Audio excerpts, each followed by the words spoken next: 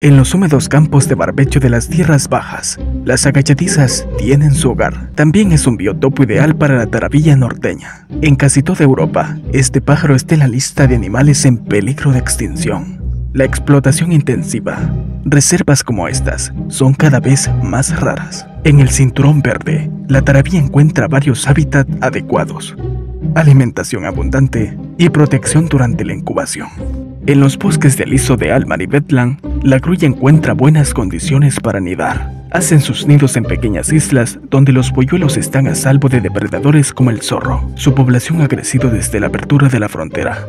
El lago Chal es el lago de aguas claras más profundo del norte de Alemania. Para sus habitantes la frontera nunca fue un obstáculo. No se podían bloquear hasta lo profundo de 72 metros de profundidad.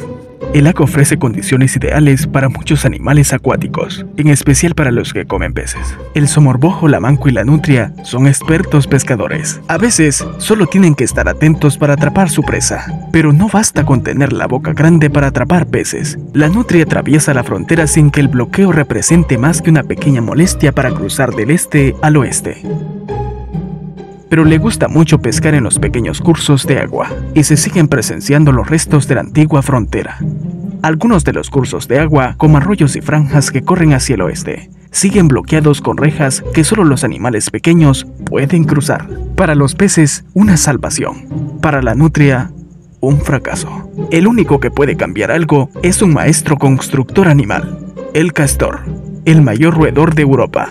Al crear presas en los ríos, este ingeniero de la naturaleza llega a crear nuevos biotopos para otras especies. También es el hábitat ideal para el martín pescador y para los anfibios, y un buen lugar de caza excelente. El castor es un habitante de la frontera, considerado un oriental. Estaba prácticamente extinto en Alemania, y solo en la RBA se conservaba una pequeña población residual en el Alba Medio, pero el castor se quedó en el este por su propia voluntad. Aunque pudo haber cruzado la frontera nadando con facilidad, este roedor no migró al oeste hasta la caída del muro. Los biotopos creados por el castor, otros espacios naturales excepcionales, se encuentran por toda Alemania.